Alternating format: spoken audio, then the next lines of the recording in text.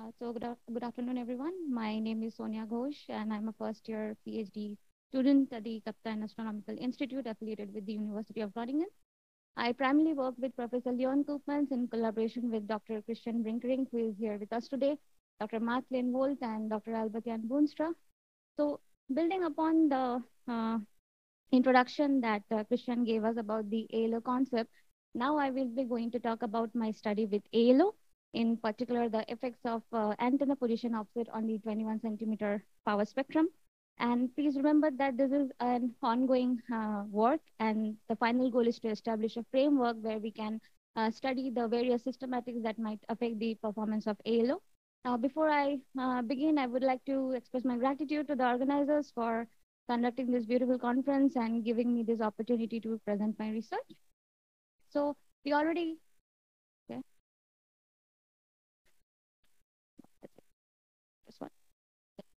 so we already heard that ALO, which stands for Astrophysical Lunar um, Observatory, uh, is a science payload for the uh, EL3 mission.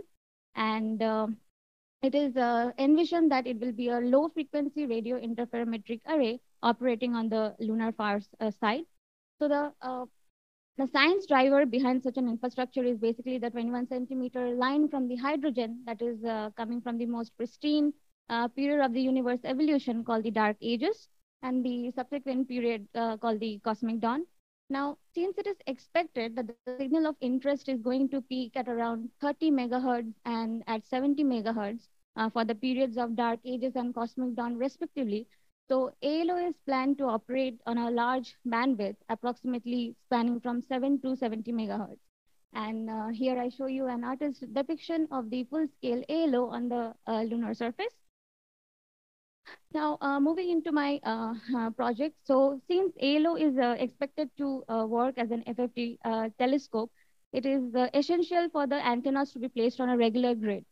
And any um, uncertainty, any um, non-redundancy that might be introduced by the antenna position offset or by beam-to-beam -beam variation will lead to uncertainty in the power spectrum measurements and it will contaminate the EOR window.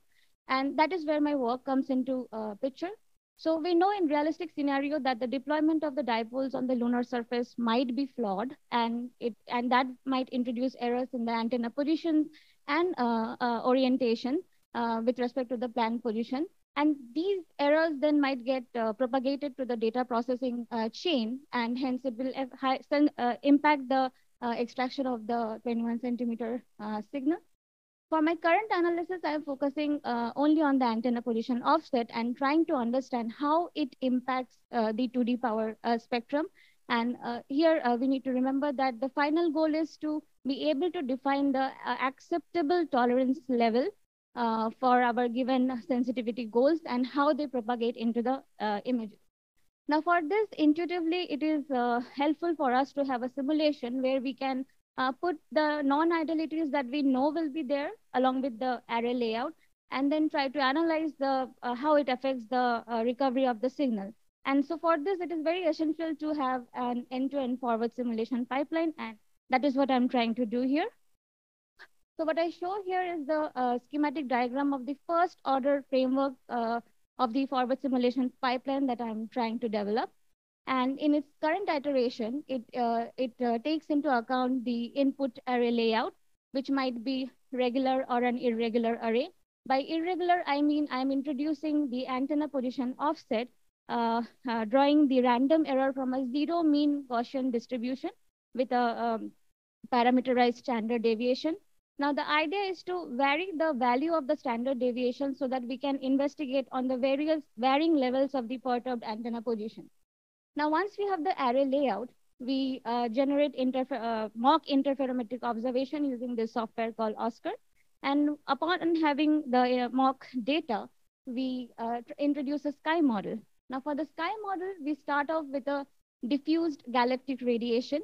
And in the radio interferometry jargon, we call this the galactic foreground. And uh, so once we have the sky map, we can extrapolate it to our, uh, to our frequency uh, with the help of uh, the global sky model. And, uh, and then what we try to do is to understand how this might uh, impact the, uh, because uh, we need to remember that the signal that we are trying to detect uh, is hidden beneath this foreground. And the large part of the actual signal that we receive is uh, contributed by this uh, foreground. So it is very essential to effectively model the foreground and try to understand its impact on the power spectrum estimation. Right, so uh, once we have the sky model and the array layout, we uh, try to uh, simulate the visibilities and uh, try to see what kind of images we may we might get for ALO. Here you see the point spread function or the synthesized beam. Now uh, you can um, imagine this to be what the interferometer sees when a point source is directly overhead the array. So you can assume it to be the eye of the interferometer. Now for the lower frequency, you see that we have a central main lobe with some side lobes. But as we uh, increase the frequency and go to the higher frequency, we see increasing number of uh, grating lobes, right? And uh, is that? Uh, now, the, great, the grating lobe itself is a consequence of the regular array that we are planning to have. And uh, so, and as we increase the frequency, the electric field is highly undersampled. That leads to the increase in the uh, number of the grating lobes.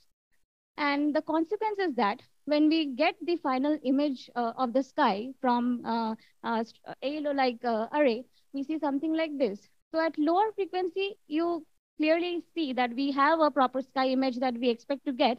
But as we go to the higher uh, uh, frequency, we get the same image of the sky in a repetitive form shifted around. So you can clearly see the impact of the PSF. And so we have to be very mindful while designing the size of the antenna uh, while uh, uh, building up ALO and also be and also try to develop a clever technique to get rid of these imaging artifacts. Uh, then finally, we try to uh, we generate a cylindrically averaged power spectrum uh, with a, pipeline called PS5. And here you see the final. Here you see the 2D power spectrum for a regular array layout that ALO will see. And if you remember, Christian has already sh showed in his talk that you may find, uh, find the resemblance of a uh, foreground uh, wedge here. And the blue region here is the region where we actually want to have high sensitivity in order to detect the uh, 21 centimeter signal.